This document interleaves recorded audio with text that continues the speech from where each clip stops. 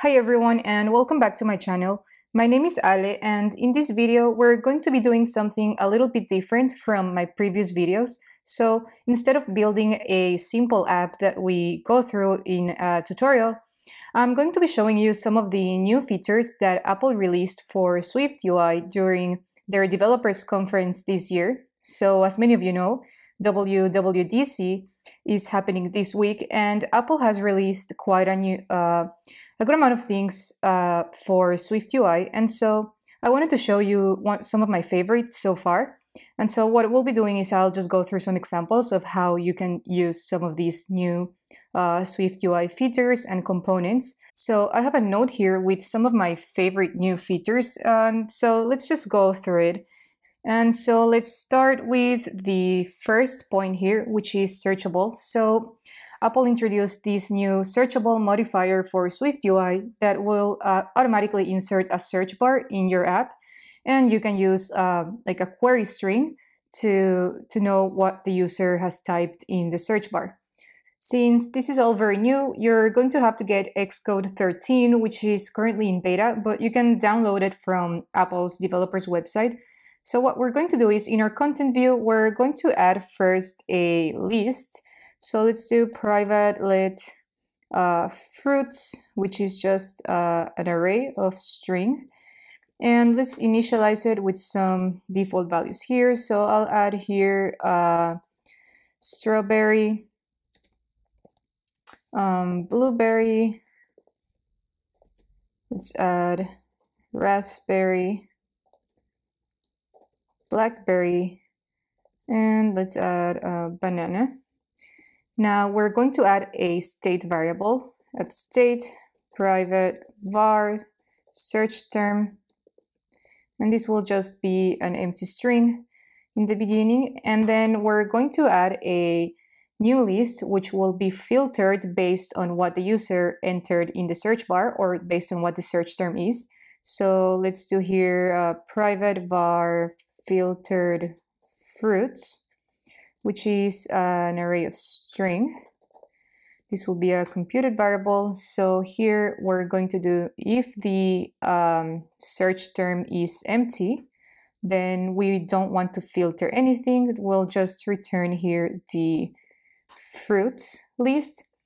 And otherwise, we're going to filter our fruits list and what we'll check here is that um, the string contains the search term. So we'll do uh, the string dot lowercase contains uh, search term dot lowercase. Perfect. So now let's modify our views. So what we're going to do here is um, let's add a navigation view. And then inside our navigation view, we're going to add a list. And for each of our uh, filtered fruits, where the ID is just the um, the string itself, so dot self, uh, fruit in and here we'll just add some uh, text that will show the fruit. So let's run our app and see how this looks. Okay, so as you can see, we have our list of fruits here. So now let's go back and I'll show you how we can use searchable to be able to search from this list.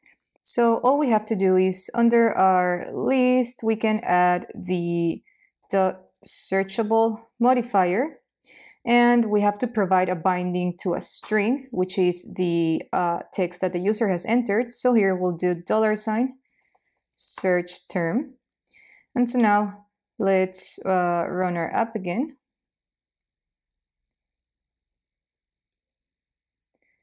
Okay, so if you swipe, you can see that there's now a search bar. And as you start typing, you see that our list is filtered to show the correct uh, results.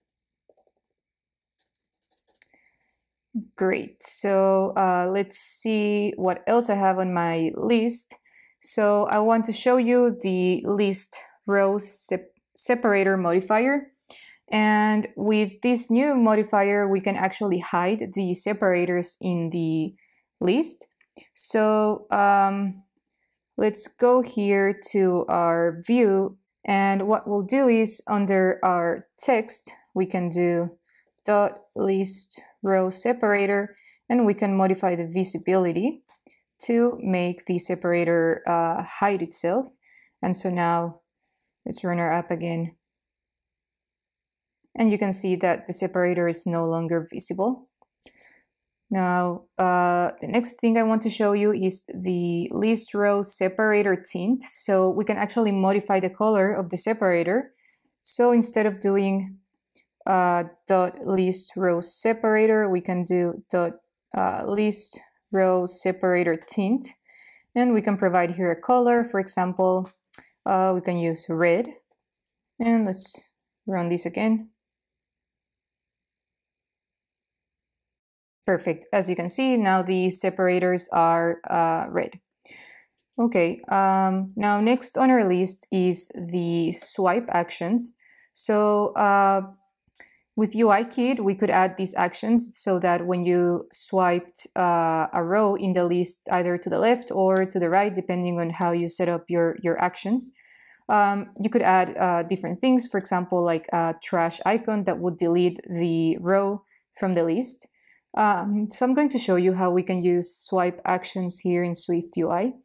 So we can go back here and um, what we're going to do is under our text, I'm going to use the swipe actions modifier.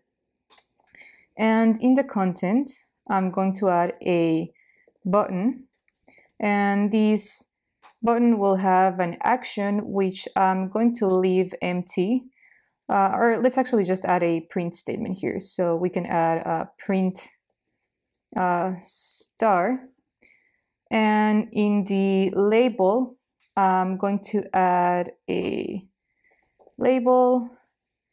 Um, let's use title, uh, favorite, system image. I'm going to use the star system image.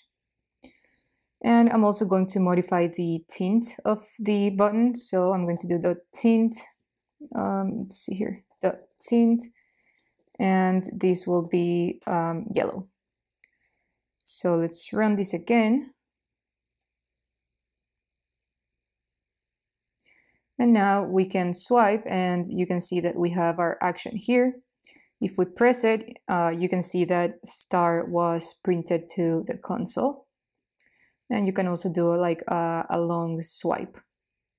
Perfect. So now let's go back to my notes and see what I have next. So uh, next I have async image and async, async image basically lets you load a remote image asynchronously from a URL and it will automatically also add a placeholder for the image while it is loading. So let's go back to Xcode and see this in action. Uh, we can just get rid of this and in our view we can also get rid of all of this here and what I'm going to add here is I'm going to add a Z stack and in my Z stack I'm going to add an async image and you can see there are different initializers. I'm going to use these um, URL, content, and placeholder initializer. So for the URL, I'm going to provide here URL with a string. Uh, what I'll do is I'll just uh, load a random image from the Unsplash website. So https colon slash slash uh, source dot unsplash dot com slash random slash 1000 by 1000 and now in the content, I'm going to get the actual image. So image in, and here what I'll do is I'm going to call image dot resizable dot aspect ratio and I'm going to modify the content mode to be fill. And in the placeholder, instead of using the default gray placeholder, I'm going to use uh, orange, so color.orange with an opacity of uh, 0.5.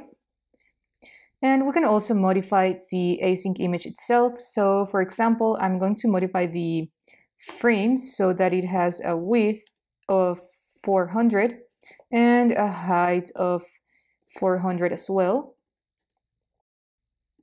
And I'm also going to add a mask to the image.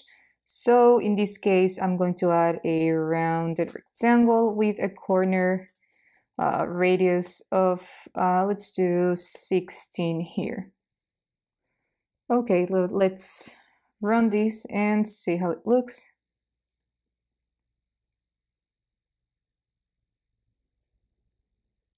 Uh, looks like the image didn't load and I see I have an error here in my URL. This should be an S. Let's try this again.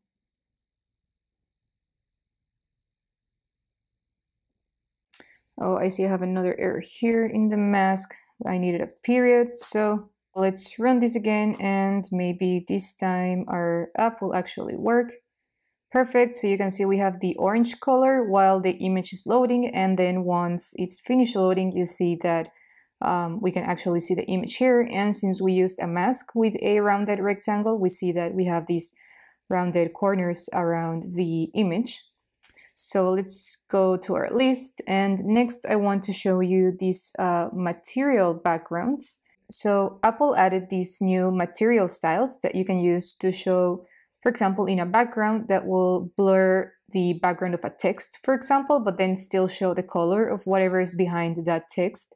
So what we're going to do is we're going to add a uh, title on top of this image. So let's just add here a text and let's just put here async image and I'm going to give it a font of title. I'm going to make it bold, add some padding around it, and finally I'm going to use the background modifier and I'm going to provide here ultra thin material. I'm also going to put this um, in a rounded rectangle so that we can add some rounded corners to our text. And so let's just here a corner radius of 8. Now let's run this again. So you can see we have the title here, and since we use the ultra thin material style, you can see that the text background is uh, blurry, but you can still get some of the colors in the image behind the text.